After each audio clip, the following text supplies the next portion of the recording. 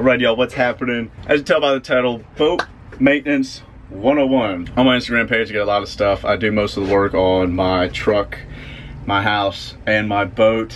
I'm pretty knowledgeable on all those facts and a lot of guys talk to me about it. Figure why not start posting videos on kind of the maintenance, monthly stuff, yearly stuff, uh, biannual stuff that I do with the boat and the truck. I've done oil changes and things of that nature on my F-250, so why not start doing it on the bass boat? So boat maintenance 101 kind of starts with numerous things that we could get into and talk for an hour and a half. But for starters, we're gonna start with one of the easiest and cheapest things you can do to maintain your lower unit throughout the year of your season. Now, we are coming into summer. A lot of you northern guys are busting those boats out. One thing you can go and do for yourself, and this is cheap, simple and easy, is replace your lower end gear oil.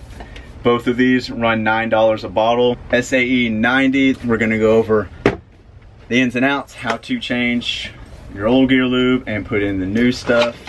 With this right here and this is a gear lube pump which runs a mere $4.99 at Walmart. Is pretty pricey if you don't keep up with this stuff. So let's get started figure out what else we need to get this job done in a safe manner. Let's go knock it out. So this is your basic essentials for doing this job. Again we're going to be changing out the lower unit oil and this is a 2002 Mercury EFI 200 horsepower. As far as the process on the engines and the outboards, it's gonna be a little different, especially on Yamahas. I don't quote me, but I believe from 2010 up, they started putting the plugs inside, the, just under the prop shaft. And this is, again, reservoir for lower unit oil. Quicksilver gear lube, Walmart specials, simple, cheap.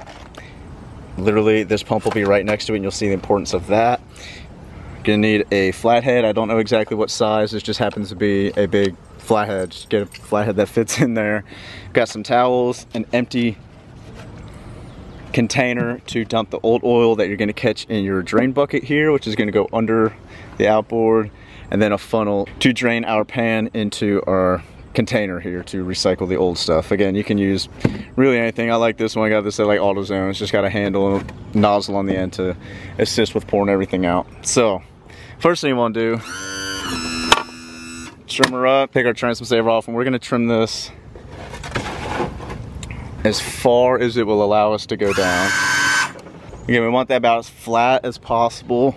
Then I mentioned two screws. We got one at the bottom that we're gonna loosen first.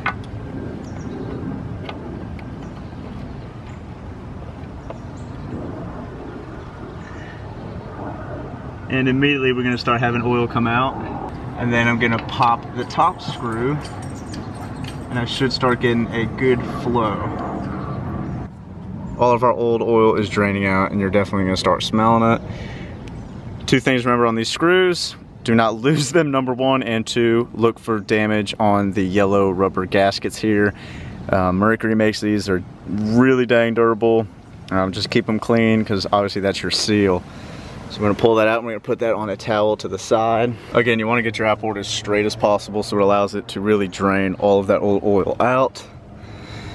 And I'm gonna sit back five, ten minutes, go do something else while I let this drain out, and then we're gonna come back and put our new oil in. So this kit's pretty cool because it comes with the pump and then the adapters if you do have the Yamaha outboard. And again, it is literally simple as putting this in the bottle and pumping the new oil in, which you will see. Again, my motor takes about a quart of this gear oil lube other motors are gonna take more, some might take less, obviously depending by the size and manufacturer. Insert into the bottle. They make this thing dummy proof, man. You literally screw it on and then you have the nozzle on the end. We're gonna push that into the bottom hole. Now we're all set up to do a little uh, gear lube chug. So let's get this going. That yellow end just screws into our bottom hole. We're gonna screw that in so it's nice and tight. And with our top screw still removed, we're just gonna start slowly pumping our fresh oil in. I'd say like a pump every every other second. You got a line here on the side. It's gonna take this entire core. Off camera drama, remember to put the clear straw on the bottom of the pump. You guys are probably laughing, not seeing that, but it is on there. All right, so now you can see if we pump any in, we start dripping out. One of our screws, and again, these, the yellow rubber washers that are on here, they're pretty dang durable, but again, still inspect them for, you know, any cracks and make sure they're clean when you're putting them back on so it has a good bite. I like just getting this to where it's overflowing. Put that on there. And tighten it down. You don't need to impact that thing on there. It's gonna be pretty tight with the gasket. Now this part, I always bring the motor back up a little bit. Being that that screw is so low in the lower unit, it's hard to get an angle at this next part. And obviously you're fighting gravity. You wanna get this screw in before you lose too much oil coming out. So I like doing this kind of slow to where it'll just start barely coming out.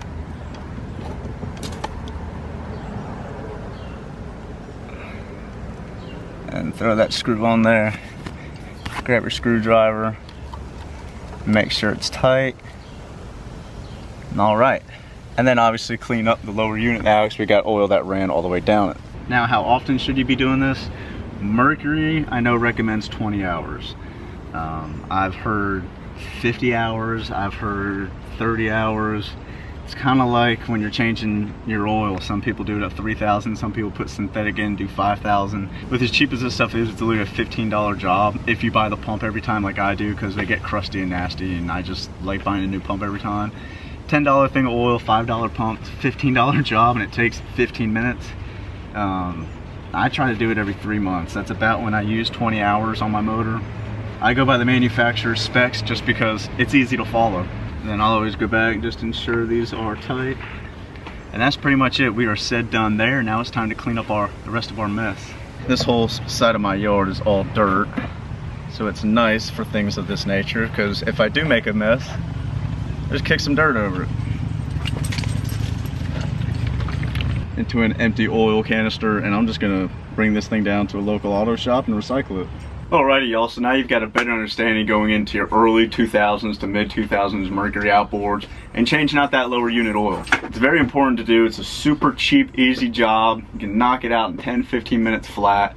Like I said, you're barely coming out, you're rubbing pennies together at 15 bucks and it's saving you a ton of money letting that lower unit run. So 20 hours does take a considerable amount, a long time that's why I try to tell people if you're kind of a weekend guy, you know, every three months is four months is probably about standard in a one year time. Changing your lower unit is actually part of your annual service as well. So you're if you're taking it to a shop to get done, it's gonna get done either way.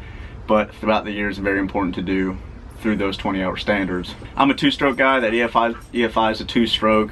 So the only oil I'm changing is that lower unit oil. And then I run this Startron here, enzyme fuel treatment, pretty much throughout the year, really, like that's additive. So if you guys have any questions regarding maintenance, mechanics on your boats, make sure you throw that in the comments in the description below. Until next video, hope you guys kind of enjoy this video. Make sure to hit that thumbs up if you want to see more of this kind of stuff. I'm about to install some LEDs in my boat, take out some older lights, put some LEDs in. So make sure you check out my channel, check out that video, hit that subscribe, stick around the Bass All Year channel for more awesome bass fishing videos and bass boat upgrades. Until next time, get out there, stay safe. We'll see you guys on the water.